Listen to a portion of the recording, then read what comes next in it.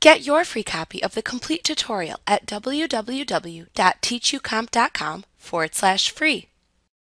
Windows 11 strongly encourages you to use a Microsoft account for sign-in versus a local user account when you are initially setting up your device with Windows 11. Many features of Windows 11, like OneDrive, require you to use a Microsoft account. You can either use any existing email account and register it as a Microsoft account, or you can create a new email account if needed. You can also use a phone number if desired.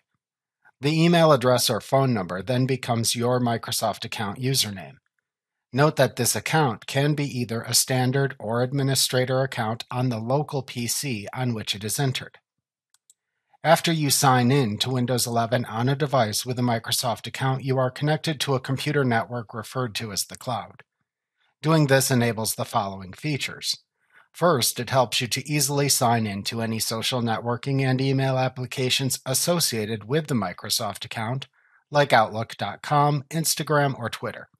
You can also access and share files using OneDrive.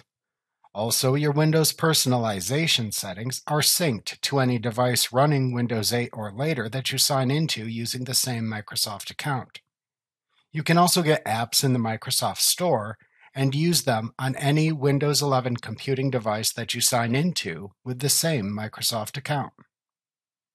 Like what you see? Pick up your free copy of the complete tutorial at www.teachucomp.com forward slash free.